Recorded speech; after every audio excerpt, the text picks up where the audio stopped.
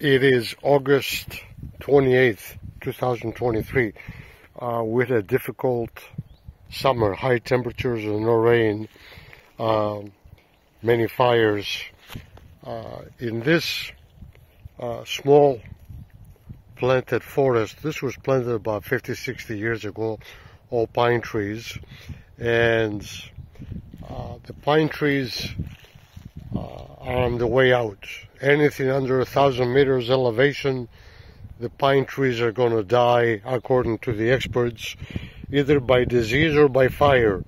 So, to try to prepare for such an event, we planted oak trees, we planted acorns right next to the uh, pine trees.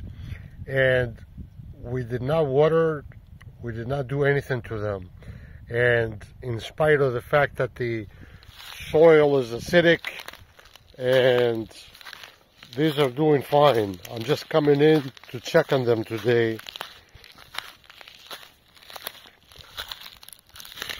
This is an evergreen oak tree that uh, we collected acorns from here in the neighborhood. It's an old, old oak tree, evergreen.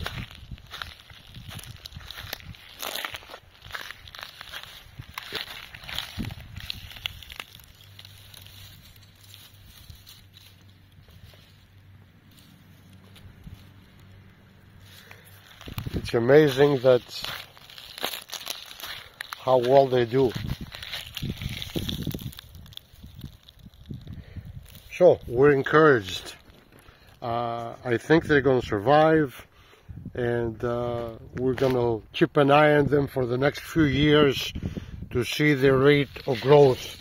But this is there are hundreds, thousands of these small uh, uh pine forest right next to the villages around and towns around Greece, which somehow we need to address the fact that they're on the way out.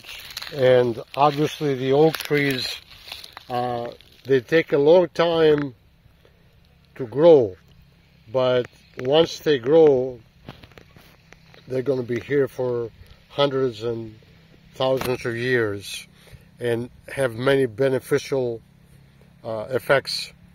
So this is encouraging.